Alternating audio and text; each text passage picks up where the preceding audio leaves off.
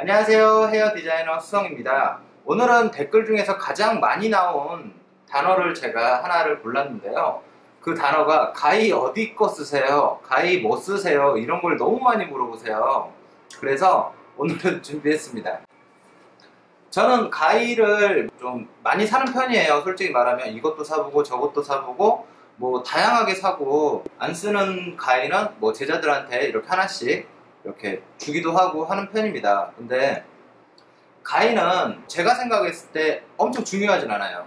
중요하진 않은데 꼭 필요한 가위가 있다고 생각하거든요. 손에 맞는 가위, 자기한테 꼭 맞는 가위가 있다고 전 생각하거든요.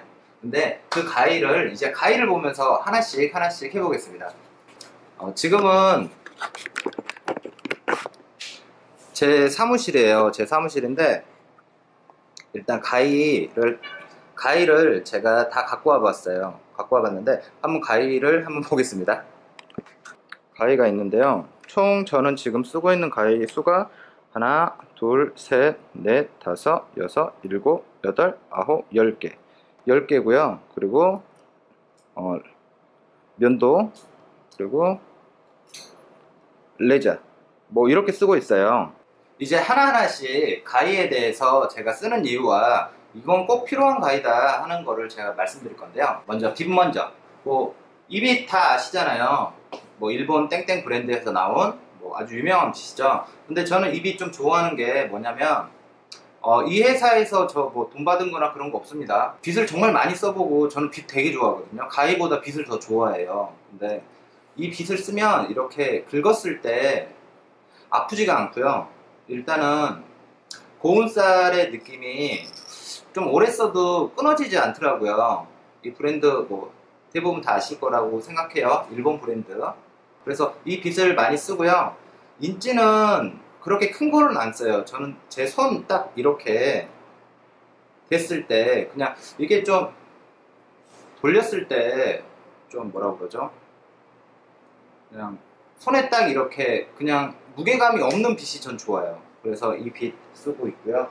그리고 남자들 머리 할 때 이런 네이프 이렇게 살에 살에 아주 가깝게 붙여서 자를 때 있죠.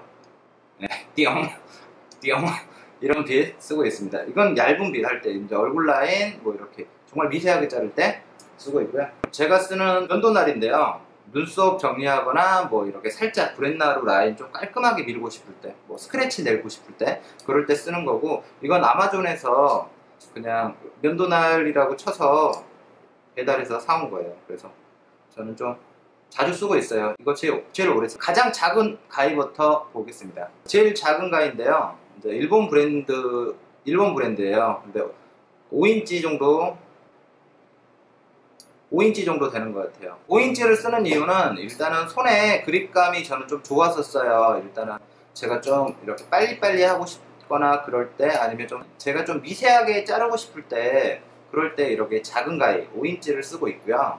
근데 이거보다 원래 더 뾰족한 가위가 있었거든요. 비달사순 가위 그 아시잖아요. 까만 거. 근데 그걸 썼는데 그거는 우리나라 사람들하고는 좀 안 맞더라고요. 제가 생각했을 때는 좀 뭐라고 그러죠? 좀 가위가 어, 오래 쓰면 밀려요. 이 쇠 자체가 너무 얇기 때문에 이렇게 개폐라고 하죠. 이렇게 개폐를 하면 머리가 이렇게 탁탁 이렇게 야무지게 나가야 되는데 너무 이렇게 힘이 없이 나가서 저는 유럽 가위보다는 좀 아시아권 아니면 우리나라 가위를 좀 많이 쓰고 있습니다.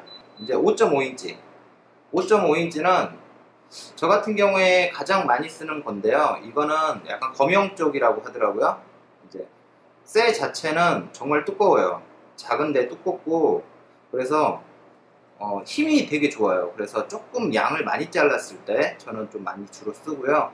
보통 한 80% 이상은 이 가위로 합니다. 이 가위로 하고 있고요. 그리고 일단은 이 가위는 좀 추천드리고 싶은 게 브랜드는 뭐, 뭐 하여튼 뭐 그런 가위인데 이렇게 한번 봐보세요. 이렇게 보면 근데 이 가위는 좀 힘이 되게 좋아요. 가위질을 했을 때, 가위질을 했을 때, 이, 자르는 느낌이 되게 괜찮더라고요. 그래서 저는 좀 이 가위 쓰고 있고요. 그리고 또 하나 쓰고 있어요. 이거는 머리카락이 이것도 5.5인치인데요. 5.5인치 맞나? 네, 5.5인치로 알고 있어요. 5.5인치 가위인데 이 가위 같은 경우에는 좀 전에 이렇게 봤을 때 거의 엇비슷해요. 엇비슷한데 틀린 거는 이 친구는 되게 얇아요. 끝선이. 이거는 좀 끝선이 되게 두껍고 그래서 이거는 개폐했을 때 힘이 있고 이 친구는 좀 더 날렵한 느낌. 그래서 저는 좀 미세하게 드라이 컷 할 때는 이걸로 자르고요. 이제 약간 water cut 할 때나 이제 물 적셔서 커트 이렇게 할 때는 기본 베이스 커트. 뭐 이거는 좀 예민하게 자르고 싶을 때 이렇게 쓰고 있고요. 이 가위는 진짜 싼 가위예요. 근데 제가 미용하면서 처음으로 산 가위여서 이거는 아직도 간직하고 있는데 이게 6.5인치거든요. 근데 6.5인치라고 비교하면 이렇게 보이잖아요. 이렇게 보이죠. 똑같은 6.5인치인데 워낙 제일 처음에 사서 쓴 가위라 좀 많이 갈았어요. 갈다 보니까 좀 많이 짧아졌어요. 가격은 한국 제품이라 그렇게 비싼 건 아니었어요. 근데 제가 미용하면서 제 손때가 가장 많이 묻은 가위라 그냥 가장 오래 쓰고 있습니다. 근데 지금은 안 써요. 그리고 이것도 이 가위 같은 경우에는 shingling 할 때 주로 많이 쓰는데 이건 shingling 할 때 쓰는데 얘는 좀 얇아요. 이 가위는 좀 shingling 할 때도 좀 얇게 이렇게 좀 살에 붙였을 때 이렇게 좀 쓰고요.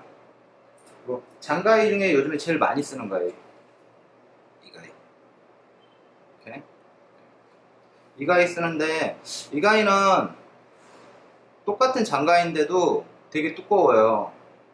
이렇게 두꺼워서 머리 자를 때 막 힘이 느껴져요. 막 이렇게 손이 편해요. 이렇게 딱딱딱딱딱 하면 그래서 좀 시원하게 나가는 느낌이 들어요. 근데 너무 이렇게 힘 좋은 가위들은 잘못 쓰시면 아시죠? 이거 싱글링 할 때 많이 쓰잖아요. 근데 남자들 특히 이렇게 빨리빨리 하려다 보면 이렇게 고객님들한테 스크래치 가끔 내는 사, 사고가 있잖아요. 어후. 네. 그럴 때는 좀 이런 가위는 좀 하여튼 힘이 너무 좋기 때문에 근데 좀 조심해서 사용하시는 게 좋을 것 같아요. 지금 보면 인치는 거의 엇비슷한데 얘가 조금 더 길어요.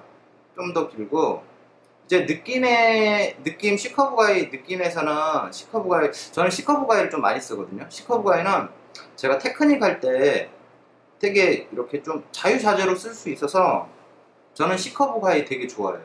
C커브 가위를 좋아해서 어 그래서 좀 원래 몇 개 더 있거든요. C커브 가위는 근데 이제 이거 두 개만 이거 같은 경우에는 가격은 뭐 그렇게 비싸지 않았어요. 가격은 시커브 가위는 제가 35만 원인가 주고 샀던 것 같아요. 그래서 느낌은 나쁘지 않았고요. 그래서 뭐 쓰는 것도 되게 좋아요. 음. 이렇게 썼고 그 다음에 이제 틴닝 틴닝으로 한번 넘어가 볼게요. 틴닝인데 틴닝 이렇게 틴닝이 있는데 예를 들면 이거 같은 경우에는 좀 보시면 날이 되게 미세하게 톱니바퀴처럼 이렇게 좀 많이 있는 거고요. 얘는 3개, 얘는 5개인가 6개 있어요. 그래서 얘가 좀 더 많이 나가겠죠. 얘는 근데 이 친구는 좀 힘이 있고요.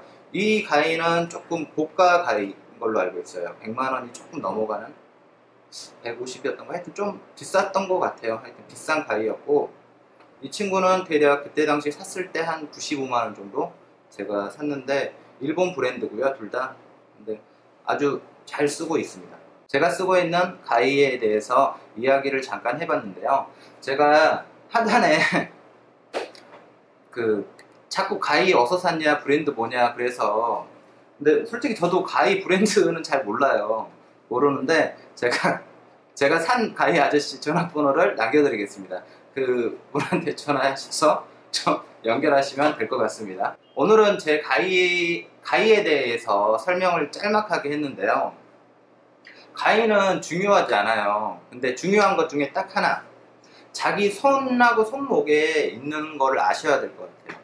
자기 손이 얼마나 크고 자기의 어, 힘이 어느 정도 되는지 아셔야 될 것 같거든요. 특히 여성분들이 이렇게 좀 크게 크게 하면 멋있다고 해서 장가위 막 들고 막 일하시는 분들 있잖아요. 그러면 손목이나 이런 거 되게 안 좋으시면 많잖아요. 우리 미용하시는 분들 정말 이거 많이 하잖아요, 솔직히. 그렇기 때문에 자기 손에 손을 들어서 물이 안 가는 가위 정도 쓰는 게 가장 좋을 것 같고요. 그리고 테크닉 가위는 저는 이제 미용사다 보니까 뭐 슬라이스도 하고 shingling도 하고 뭐 이렇거든요. 그래서 테크닉 가위 정도는 하나씩은 있으면 좋은데 없으면 없으시면 저 같은 경우에도 어, 예전에 시, 그 C커브나 이런 가위가 우리나라에 수입이 안 됐을 때는 저 같은 경우는 작은 걸로 이렇게 이렇게 또 테크닉 주셔도 되니까 도구는 그렇게 중요한 것 같지 않아요. 그냥 제 머릿속에 있는 디자인을 제 손으로 이렇게 연출해 드리는 게 중요한 거지 미용사가 가위는 그렇게 썩 중요한 것 같진 않아요. 근데 너무 안 좋은 가위는 막 뜯기니까 그 정도까지만 아니시면 될 것 같아요. 그리고 오늘 가위편 이야기는 여기까지 해봤고요. 다음 시간에 더 좋고 알찬 정보로 찾아오겠습니다.